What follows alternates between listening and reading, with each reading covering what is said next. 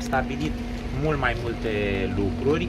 Vorbesc într-o primă fază de uh, obligația autorității locale și a managerului de proiect să ne informeze săptămânal sau ori de câte ori este nevoie cu privire la evoluția, evoluția situației din zonă. Am aprobat un uh, proiect de hotărâre de guvern pentru uh, eventualul sprijin al guvernului pentru localitățile afectate de alunecări de teren. Am aprobat uh, planuri de uh, măsuri uh, pentru, pentru calamități.